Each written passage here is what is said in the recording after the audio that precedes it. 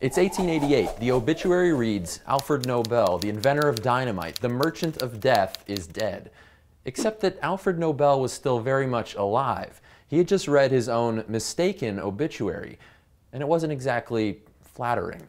So he decided that day that he would leave a different legacy. And so the Nobel Prizes were born.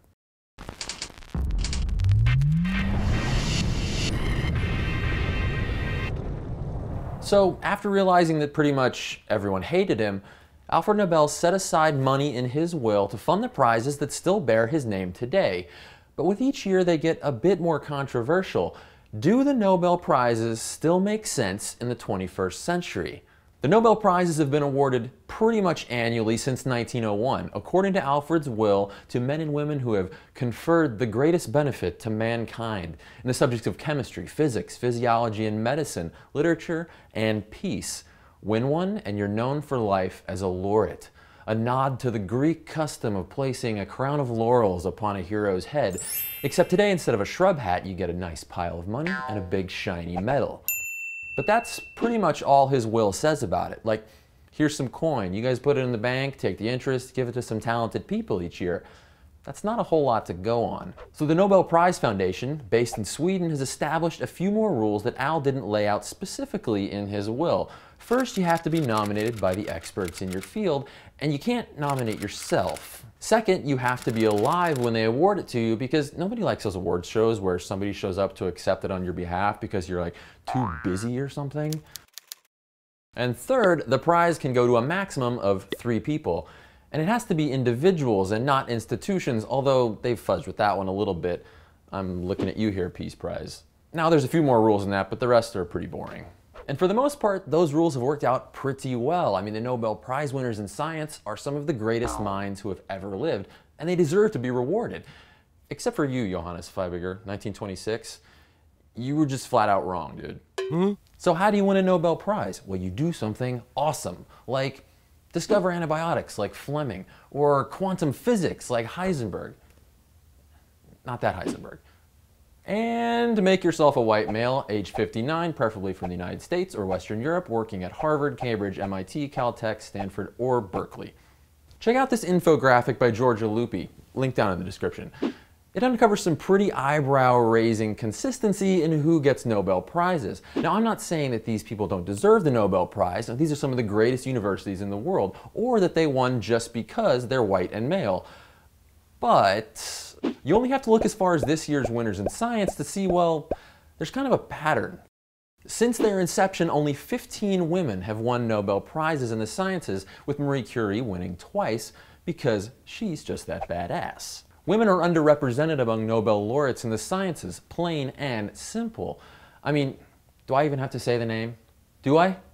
All right, Rosalind Franklin. Okay, they got her in a technicality because she had passed away when Watson, Crick, and Wilkins won for the double helix. But what about Jocelyn Bell Burnell? What about Lise Meitner? Now, we've got some splaining to do. Now, except for the size of the pile of Swedish krona you get, not much has changed about the awarding the Nobel Prizes in, well, ever. Now, this begs the question, or questions. Is it time to overhaul the Nobel Prizes? I mean, do they really represent how science is done? And what are they for exactly? In the early days of the Nobel Prizes, they were often awarded to lone researchers working on big questions with very little money or equipment at their disposal, which is because most science at the time was done by lone researchers working on big questions with very little money or equipment at their disposal. Now, this is also the era that gave birth to the myth of the lone genius. I mean, science is not done by people sitting around going, hmm, and then coming up with great ideas and then dusting their hands off and walking away. Science is a deliberate and often painstakingly slow process that's not only about creativity, but about collaboration and combination of ideas. Now, Steve Jobs knew that creativity was just connecting things. And Thomas Edison knew that his success was not magical genius, but the product of the severest kind of mental and physical application. In 2009, a group of leading scientists wrote an open letter to the Nobel Foundation urging them to get with the times and expand their categories, because it turns out that 1901 is not actually that much like today. I mean, airplanes, anybody? Take computers, for instance, something that didn't even exist in Alfred Nobel's time. They're kind of important to how science is done today.